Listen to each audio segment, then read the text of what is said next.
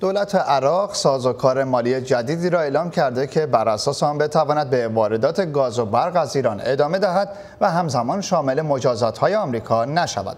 آمریکا به عراق 90 روز فرصت داده تا پایان فصل گرما بتواند گاز مورد نیاز ژنراتورهای تولید برق را از ایران وارد کند و پس از آن از منابع جایگزین استفاده کند. برای بررسی بیشتر علی جوانمردی از اربیل عراق همراه ماست. علی چطوره که عراق می‌تونه به واردات گاز و برق از ایران ادامه بده و شامل تحریم های آمریکا نشه. افشار مقام های رسمی دولت عراق به رسانه های این کشور گفتن که مکانیزم ویژه‌ای وجود داره که اجازه میده دولت عراق از ایران فعلا گاز و برق مصرفی رو وارد بکنه.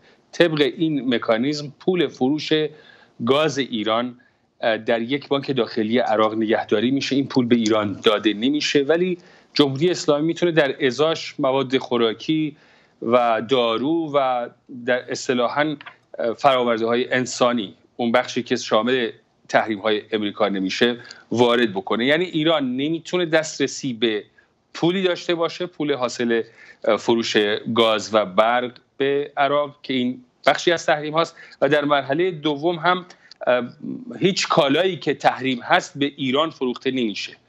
مثلا فروش دارو تحریم نیست به جمهوری اسلامی.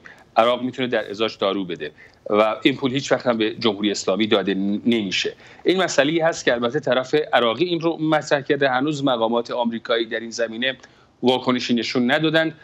16 روز پیش آمریکا 90 روز دوباره مهلت داد به عراق که بتونه در این فصل گرما گاز مورد نیاز ژنراتورهای تولید برق برای مرکز و جنوب عراق رو وارد بکنه و همچنین مقداری برق رو ولی بعد از اون طبق اعلامیه وزارت خارجه آمریکا به عراق عراقی ها باید منابع جایگزین پیدا بکنند برای برق و همچنین گاز خودشون.